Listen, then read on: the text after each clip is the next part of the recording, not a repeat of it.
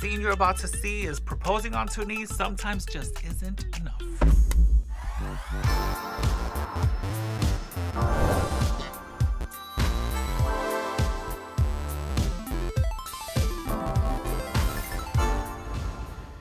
What's going on, girl? You're glowing. You're glowing. Hold on. Ooh. Ooh. Wait, if my man don't gas me up like that when I'm sitting in the mirror, like, ooh, ooh, he had a whole stance and a dance. Ooh, ooh, ooh. He's glowing, girl. Um, I think we should have a talk. Wait, wait, hold on, hold on, baby, hold on, baby. Come on, baby. You see, you scaring me now. You think we should have a talk? Like, If you know me, just talk to me. Gives me anxiety. Just talk to me. Just start the conversation. Don't say I have to talk to you. so what's up? Um, I love the ring. You did a great job. That really is a beautiful ring. So is uh, Jen's manicure.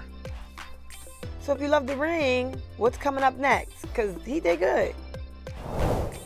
I was coming to you to talk about the situation that I just finished meeting up with this chick. You understand what I'm saying? What chick? Like, what do you? Phresher, you know what chick. Cut it out. It ain't several. It's one. You you know exactly who the chick is. With Jada. Like, what do you?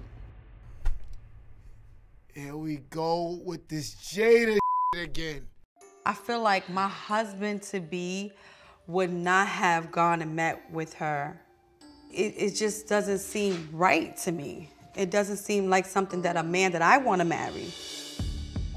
You know, I kind of understand both of them, but if this is something that Jen specifically asked for, then you gotta respect it, whether she's your girlfriend, your fiance, or your wife. You have to understand the golden rule.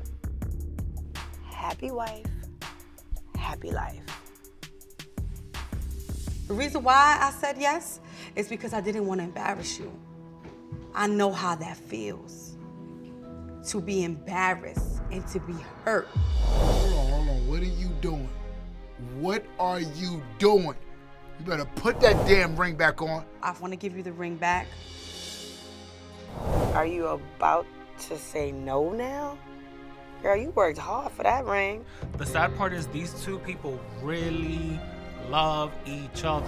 Jen and Phresher have like a deep, real connection, and it's kind of tough to watch this. And Also, I supposed to stay here and build like like I'm trying So what to are you figure out saying how right to now? You supposed to stay here. But where do you think you supposed to go? We're working on us. F***ing me. What are you here for? Work on us, You're here to clean up the f***ing mess you made. Like, I don't even know. Like at this point, I really don't know what she wants from me. You get what I'm saying? I'm giving my all. I'm giving my all. I'm a changed man, baby. And you ain't doing it by yourself. If you're doing it by yourself, that's you moving like you're single. Keep that ring. Throw it away. Oh my gosh. This when they play this music, this is when the river overflows. I don't want to be crying. My makeup is cute. I got pink that matches with my pink arms. I don't want to see anymore because I'm about to start crying with my friend.